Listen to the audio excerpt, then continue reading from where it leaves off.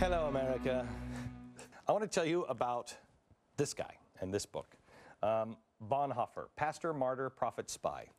Um, I've talked about uh, Bonhoeffer a couple of times on this program, and he is loved by the left. Oh, they love him. In fact, here's a, a year with Dietrich Bonhoeffer, foreword by Jim Wallis. Hi, Jimmy.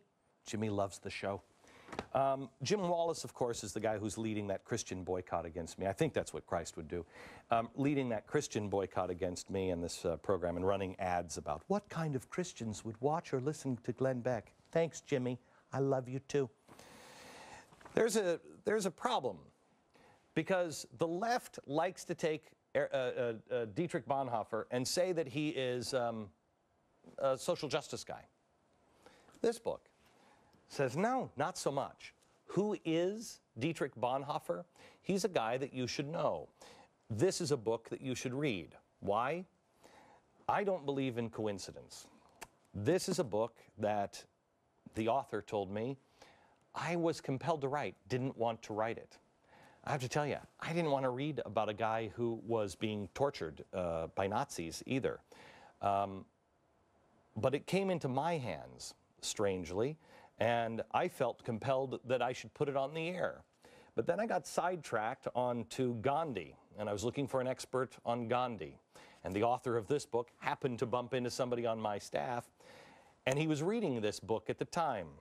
And he said, Hey, you know, Dietrich Bonhoeffer was fascinated by Gandhi, said that Gandhi held the, uh, the answer.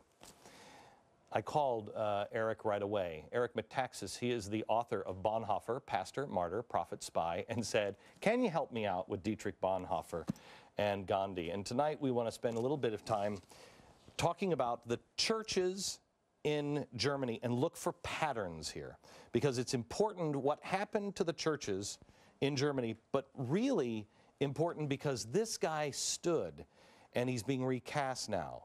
Tell me, Eric, about Dietrich Bonhoeffer. Bonhoeffer. Yeah. Bonhoeffer. Yeah, there's a, there's a lot there.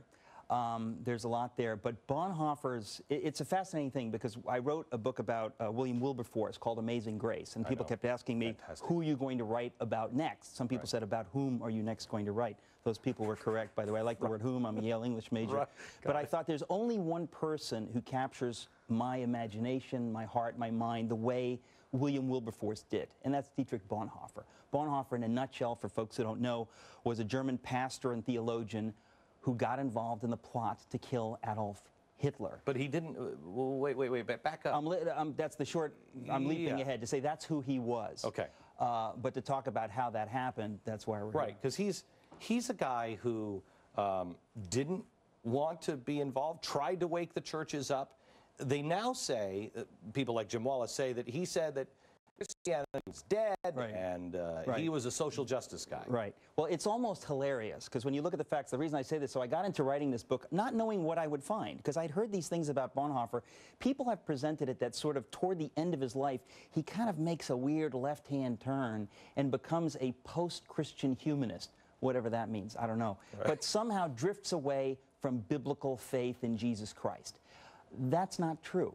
I didn't know until I did the research on the book, and what I discovered actually stunned me because the opposite is true. His faith becomes stronger and stronger. 18 hours before he is sent to his death in Flossenbürg concentration camp, he has a service for his fellow prisoners. He preaches a sermon. I mean, this guy went to the gallows with his faith in Jesus intact. And, and so, so none of that is true, and his legacy has effectively been hijacked uh, by the hard left, really by agnostics and atheists. Okay, this is, uh, America, this is important for you to know. This is an important book for you to read um, because he compelled to, was compelled to write it, um, prompted, dare I say.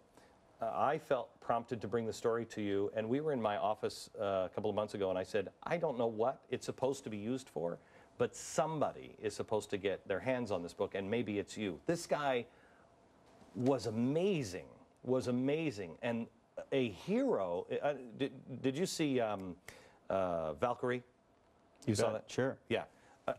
Amazing story and fearlessness. Yeah. That was this kind of guy. Oh yeah, well no, that, the whole story of Valkyrie is in this book. That's why it's a thick book. There's a lot of there were many plots, uh, or I should say, there were many attempts on Hitler's life. The final one, I'll get to that in a minute if we want to go through the Yeah, timeline. 'cause I don't but think that it the- all culminates in yeah, that. the, the, the Hitler part is not as important to me as the standing up to the churches and saying, no, no, no. Right, that's Look right. what's happening. Right. And that's why in the title I call him a prophet, because the prophet speaks to the church. The prophet is trying to get the, the, the people of God Okay. to be the people So of God. So what was happening at the church? What was happening in the churches early in Germany?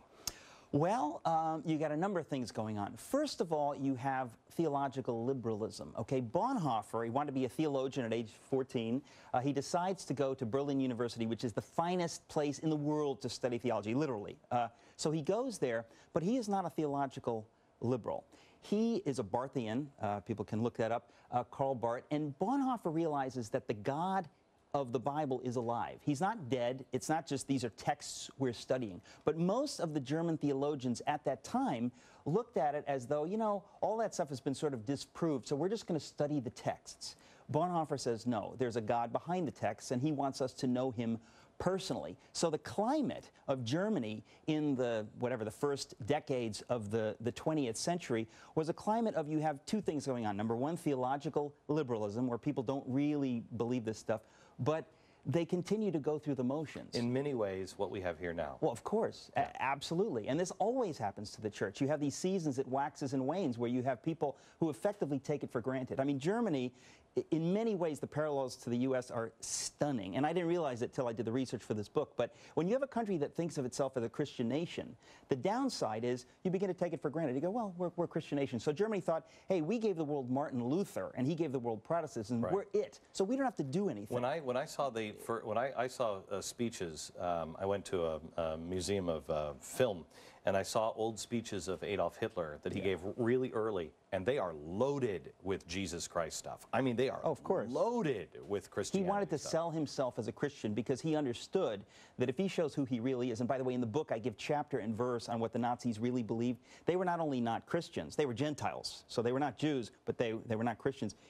They were pagans, basically. But he understood that he's dealing with a population that is vaguely Christian. Germany is a Christian nation, and that if he presents himself as bitterly opposed to Christianity, he will lose his power. Right. So he plays I mean, th- Right. this is the danger. When you have a nation that is sort of Christian in, in a very surfacey way, uh, not mentioning any names, but the initials are USA. uh, if you have that kind of a thing going on, you're very susceptible. So, so Hitler comes into the situation and he basically plays the conservatives. He basically says that, you know, I'm against degenerate Bolshevism, I, am against the communists, I'm, I'm for values and so on and so So he speaks, he talks the talk, but he is fundamentally opposed to actual Christianity. But he hides it because he knows that if he reveals it, Bon- he loses everything. When did Bonhoeffer first figure him out? Because he was the first guy from, From, the beginning. From right? day one. And I think that's because Bonhoeffer's father was a scientist, and the whole Bonhoeffer family was trained to think rigorously. Uh, they, they were not able to be fooled. They, they, they were uh, really some of the finest minds in Germany. This is an amazing family, and I go into Yep, that in the book. But, but they were trained to think clearly. So, number one, Bonhoeffer thinks very clearly. Number two, his family was very well connected in social circles in Berlin, so they knew people who were in the know, and they knew before Hitler became chancellor who he was, that he's a vulgar, fundamentally anti-German, anti-Christian narcissist, a maniac, basically.